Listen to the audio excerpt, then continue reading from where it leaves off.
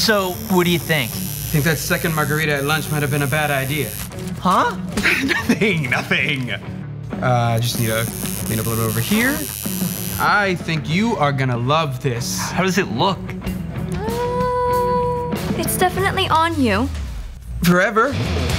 When lifelong consequences are involved, whether ah! giving someone a tattoo or giving them a ride home from the bar, it's a really good idea to not drink.